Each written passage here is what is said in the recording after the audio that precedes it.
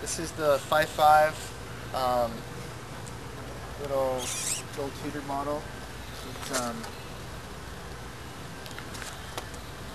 a little S deck, little scooped out nose. It's got like a single to double concave through spiral V on the single fin. And um,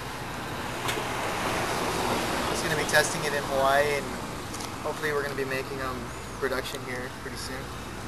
Um, he's really happy with the way the single fins have been working out. So um, it's going to be really, it's going to be neat. Fun.